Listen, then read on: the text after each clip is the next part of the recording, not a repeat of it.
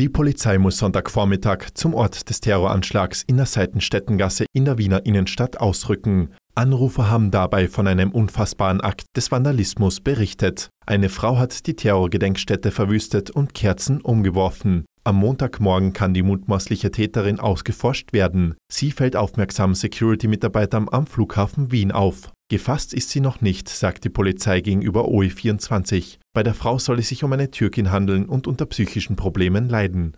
Am Sonntagabend taucht dann das Video auf, das auch Österreich zugespielt wird, auf dem ganz deutlich zu sehen ist, wie eine nächtliche Gestalt in dickem Mantel mit blauer Wollhaube, Corona-Maske und umgehängter großer Einkaufstasche in der Seitenstättengasse zu den dort aufgestellten Kerzen mehr schreitet. Danach wirft sie die Kerzen mit gezielten Fußtritten um und verstreut diese am Kopfsteinpflaster. Und das mit voller Absicht.